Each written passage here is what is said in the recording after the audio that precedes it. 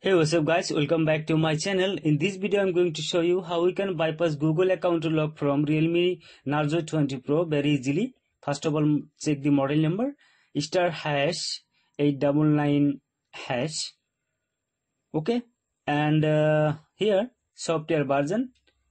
As you can see it's RMX 2161 Android version 11 and today I will remove it without PC and software box uh, star hash 813 hash not working. Okay no problem. I will check. It's not working. Okay friends. Let's remove the google account from this device very easily. Simply tap next then next and connect wi-fi network. As you can see i have already connected okay now next. And uh, next here. Don't copy.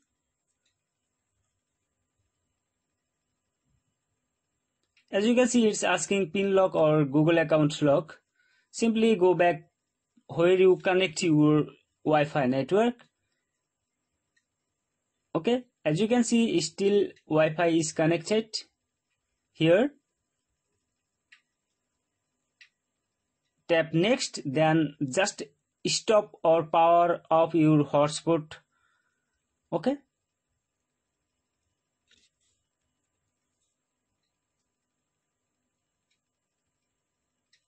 When wi-fi symbol is disabled just wait.